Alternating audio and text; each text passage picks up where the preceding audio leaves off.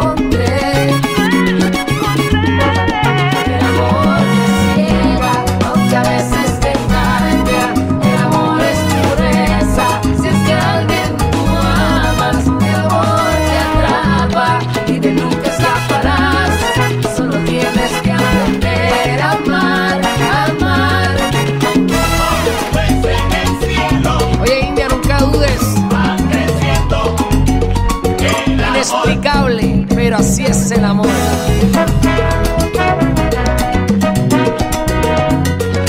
Así es el amor. Aura Cristina Gainer bailando por esos niños con discapacidad o con capacidades diferentes de Jalapa. Usted vota en su hogar a través del 33 555 por Jalapa.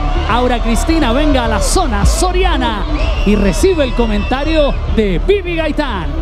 Bueno, Aura, a ti te sobra sensualidad y belleza, la transmites. Entonces, cuidado nada más con eh, pasarnos en la expresión porque no lo necesitas. Ya de por sí tú irradias esa sensualidad y esa belleza. Muy bien, muy bien. Emma Pulido. Sabes que me encantaste, tienes buen ritmo y todo, pero no te creo nada, ¿sí? No te creo nada, lo que estás haciendo es bastante pesado tu movimiento. Vamos con las calificaciones. ¿Qué calificación tenemos para Aura Cristina? Un 5, un 5. Y la calificación incógnita, ahí está. Muy bien.